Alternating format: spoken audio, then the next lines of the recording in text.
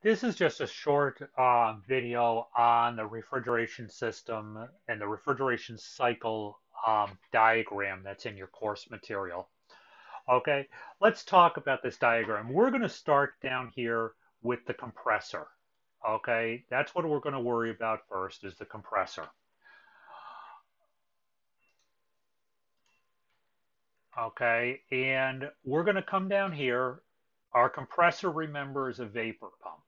Okay, it compresses high pressure vapor or low pressure vapor coming in on the suction line and discharges with high pressure vapor. Now, when we look at this, you're going to see that our discharge line comes out of our compressor and goes to the top of our condenser. Our discharge line contains high pressure, which is the HP, high temperature, superheated vapor. In other words, the vapor has included the superheat from the evaporator, that's the latent heat added after the change of state. It comes into the compressor, the refrigerant picks up additional heat content from the heat of compression. And that heat content is part of the refrigerant as it discharges in the discharge line. Then our refrigerant comes into the condenser.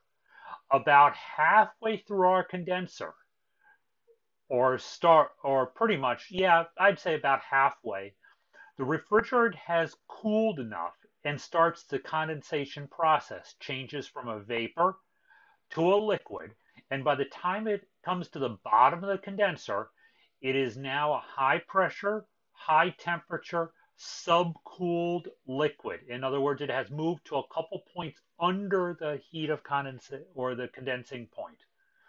Then it discharges from the condenser into the liquid line. Okay, the liquid line moves the refrigerant to the metering device.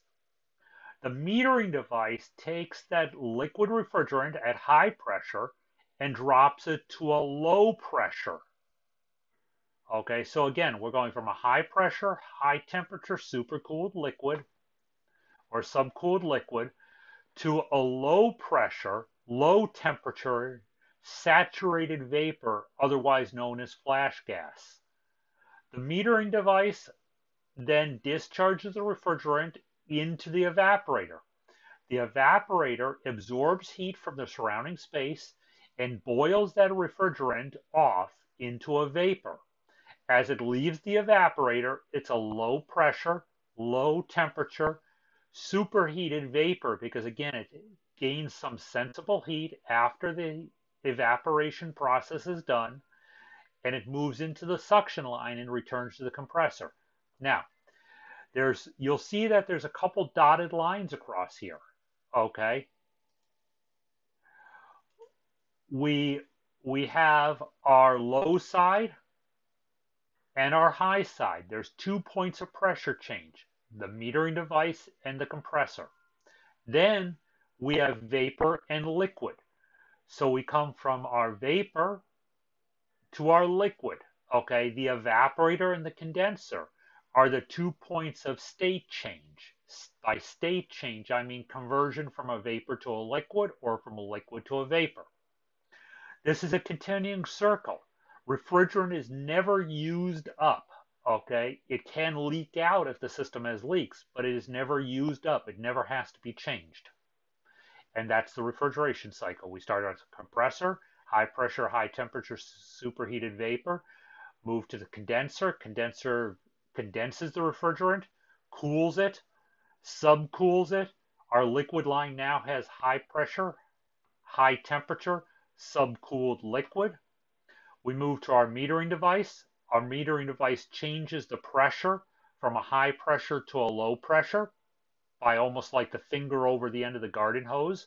We now have a low pressure, low temperature, saturated li vapor liquid mix known as flash gas. Moves into our evaporator. We absorb heat. We boil, we start the boiling process. We boil off all the liquid. So by the time it gets to a suction line, it is a low pressure, low temperature, superheated vapor, and we come back to our compressor, which is cannot pump liquids, can only pump vapors, and the process starts all over again.